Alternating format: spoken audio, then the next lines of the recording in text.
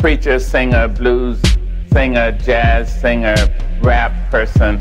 It's so catching, so hypnotic, so wonderful. As a poet, I continue to try to catch it, to catch the music.